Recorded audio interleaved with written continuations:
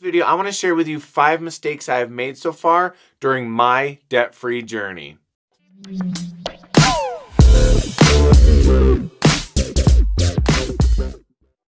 What's up guys, my name is Justin and welcome back to the channel where we make little changes with huge impacts on our lives. If you're new here, I upload videos with different tips and tricks to help you improve your life, so please consider subscribing. If you think your debt-free journey is gonna start off perfect and be smooth sailing the entire way, you are out of your mind. I think so many people believe they need to get everything right, right from the beginning, and if that is the mentality you have, you are setting yourself up for failure right before you even start. We have been on our debt-free journey for a little over a year now, and during that year, we have done a lot of things right, but we have also done way more things wrong, and in today's video, I want to share with you some of the mistakes that we have made and how those mistakes have actually helped us along our journey. The first mistake I made when we first started was I pushed my family into this journey. Megan and I have talked about getting out of debt and we have tried different methods over the years, but none of them really worked. We would save some money here, pay off something there,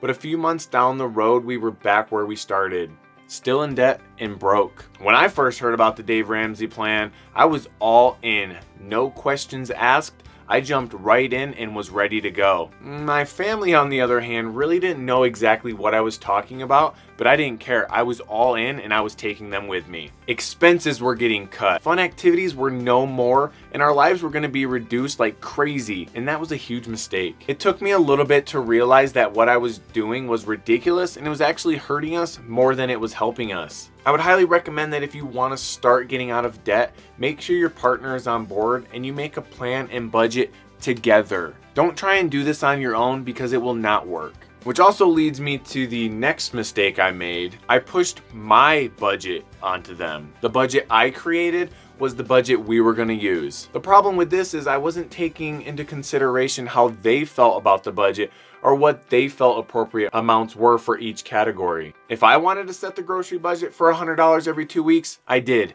No questions asked. And if I wanted to set our gas budget for $30 for every two weeks, I did it. And because of this, a lot of issues started popping up along the way because my amounts were not realistic. I wasn't setting amounts we could actually live off, which led me to getting frustrated when money in our bank account was being used. Not only that, but I was forgetting to add a lot of other expenses into the budget like kids activities, like dance, baseball, gymnastics, you know, and fun little activities that they could do just to kind of make everybody enjoy the process a little bit more. You know, I thought I was doing the right thing because my goal was to get us out of debt as quick as possible without checking with my wife. And at the time, I felt like I knew how the process would work, so only my opinion mattered. And boy, I was wrong. Like I said before, it is very important that you sit down and go over your budget together. Set the amounts together, and if they need to be adjusted, adjust them together. If possible, I would suggest having a monthly meeting where you and your spouse sit down and review the previous month and plan the upcoming months. This way you both know exactly what's going on and what to plan for in the future. When you're both on the same page when it comes to your budget, it will make sticking to the journey for the long haul a lot easier. And the third mistake I made was I set our budget too tight or I made it too loose. And this kind of goes back to my last mistake. When we first started, I set the budget so tight there wasn't any room for error or a lot of room for error. You know, every amount had to be perfect and we weren't allowed to waver. If we used all of our grocery money, that's it. No more. If we are running low on gas, sorry, you should have been more frugal with your driving. Not my fault. After a month or so, I realized the amounts I set were way too strict, and our debt free journey was becoming a nightmare. So I sat down without my wife and I adjusted the budget. But I set it too loose. I upped the amounts by more than I should have, and we had very little afterwards to go towards debt. We were spending in a way that was similar to how we were prior to starting our debt free journey, and we were going nowhere. And honestly, it took us about three months to really nail down a budget to where we knew we were getting everything we needed for the month, and we don't run out, but we weren't spending like we were in Congress anymore. So if you are in a position where your budget isn't working, sit down together and really talk out the numbers. Where have you been overspending? Where can you cut back? Where are the major struggles coming from? And where can you improve? And give it time. Your best budget is a budget that adjusts to your life and what's going on in that month. Not every month is going to have the same exact budget, so adjust along the way. And the fourth mistake I made when we first started our debt free journey was I started working too many nights at my second job. I took on my second job within three days of starting our debt free journey. And I reached out to Megan and I said, hey, this is what I'm thinking. I can work here at night and then we can crush our debt even faster. And she was all up for it. But the mistake I made here was I started working four to five days a week while working a day job. I had overcommitted to my night job and I was exhausted all the time at my day job. Not only that, but I was also coaching my son's baseball team, which took up about three to four days a week, along with gymnastics practice and t-ball practices for my youngest son. For the first two months working my second job, I was home maybe one hour a night and ran on around three hours of sleep. Honestly, I was exhausted and you know, I contemplated quitting my pizza job almost every week, but I knew in the end it would be worth it. And luckily the pizza place I work for is very flexible when it comes to my time and they allowed me to change my schedule throughout the past year.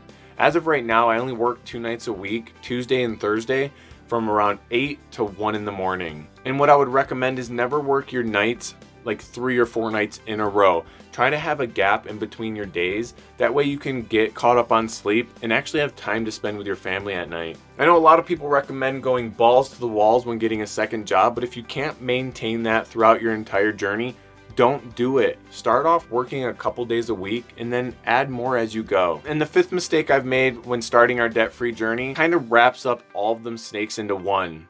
I didn't communicate with my wife in the beginning very well. I made a lot of selfish decisions when we first started our debt-free journey, and thankfully my wife didn't divorce me at the beginning.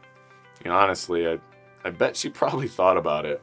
She was and has always been very supportive of every crazy idea that pops into my head. And so far, this crazy idea has had the greatest impact on our life. So like I said earlier, I would highly recommend that you and your partner sit down and talk through every decision along the way.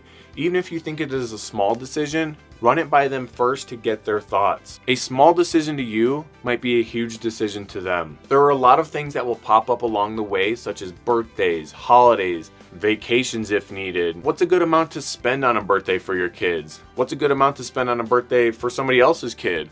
What's a good amount to spend on a birthday for a friend? What would you consider to be an emergency and force you to use your emergency fund? What are you willing to sacrifice to get out of debt sooner? What aren't you willing to sacrifice to get out of debt sooner? Groceries, date nights, kids' activities? there's going to be these little things that pop up and you need to know how your partner's feeling about these decisions as well. The more you all feel involved in this journey, the better it will be. In a previous video, I said that this journey sucks, and it does, but you can make it that much better just by being on the same page together and tackling your debt as a team. Your debt-free journey is not going to be perfect, you will make mistakes along the way, but it's important that you learn from those mistakes and you make the necessary adjustments along the way. Have we made mistakes? Yes. Will we continue making mistakes? Absolutely. But as we say in our house, everything is figure outable. You will find a way. No matter what happens, we will figure it out. Alright guys, so that's to do it for today's video. If you found any value in this whatsoever, then please throw me a thumbs up, and comment down below with a mistake that you have made along your debt-free journey. If you've made it this far and you haven't yet, please hit that subscribe button so you don't miss out on any of my videos. I want to help you get out of debt and stay out of debt, one tip at a time. And as always, let's keep growing.